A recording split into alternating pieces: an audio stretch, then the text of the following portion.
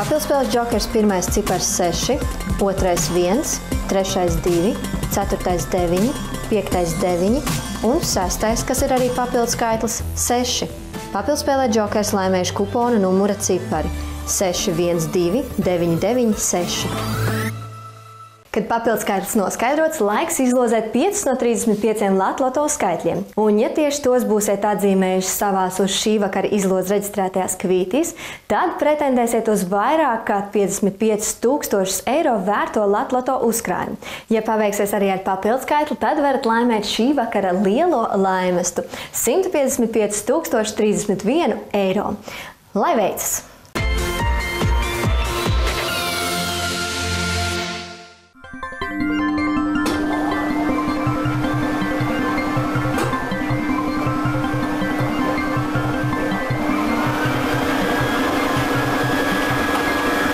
Latvijas pirmais skaitlis šovakar 12, otrais 2, trešais 22, ceturtais 25 un piektais 18. Šīs dienas Latvijas 5 no 35 izlozē laimējuši šādi skaitļi - 2, 12, 18, 22, 25 un papildskaitlis šovakar ir 6. Bet dalība papildspēlē Jokers 7 dod iespēju laimēt vērtīgus naudas laimes līdz pat 750 tūkstošiem eiro, lai izdodas.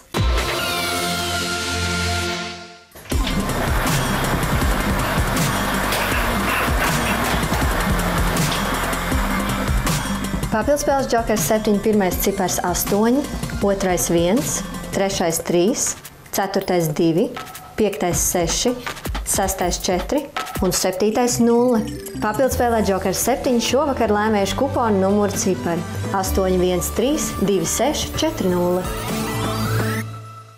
Kā tad šovakar veicies mūsu loteriju dalībniekiem? Jūsu uzmanībai Latvijas izlozes rezultāti.